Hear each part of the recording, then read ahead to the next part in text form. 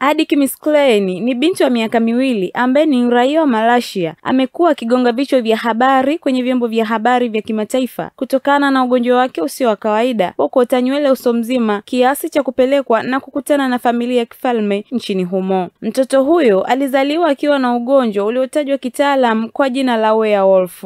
Ugonjwa huo pia hujulikana kisayansi kwa jina la hyptrichosis ambalo ni neno lilotumiwa kwa ukuaji wa nywele kwenye sehemu yoyote ya mwili zaidi ya kiasi ambacho hupatikana kwa watu wa umri, rangi na jinsia sawa. Ni hali ya nadra sana ambayo wagonjwa huzaliwa nayo au huipata baadaye maishani. Haijumuishi nywele nyingi zinazosababishwa na viwango vya juu visivyo vya kawaida vya homoni za kiume. Katika historia yote, walioathirika wamekuwa chanzo cha kupendezwa sana na wamefanya katika sarakasi za kusafiri na maonyesho ya vituko. Tangu binti Adi Kimis Klein amekuwa akivutia umati wa watalii nyumbani kwao wakitaka kuona hali hiyo isiyo ya kawaida. Kwa sasa kutoa ombi la kukutana na mtoto huyo wa ajabu ni familia ya kifalme ya Malaysia ambayo imemtaja Miss Klein kama mtoto kutoka mbinguni na kuwataka wazazi wake kutomtelekeza. Yeye na familia yake walipata fursa ya kukutana na wafalme wa Marasia wiki hii wakati sultani na malikia wake walipotembelea mji aliozaliwa walipokuwa wakizuru kisiwa cha boneo Adik na wazazi wake Leonard Jimbai na Terethia Guntin walikuwa miongoni mwa wakazi waliojitokeza kukutana na familia ya kifalme mnamo Septemba kumi na moja, luninga ya nchini humo iliripoti. Katika ishara ya dhati, wanandoa wa kifalme walimtaja mtoto huyo Anaki Sugar ambaye tafsiri yake ni mtoto kutoka mbinguni.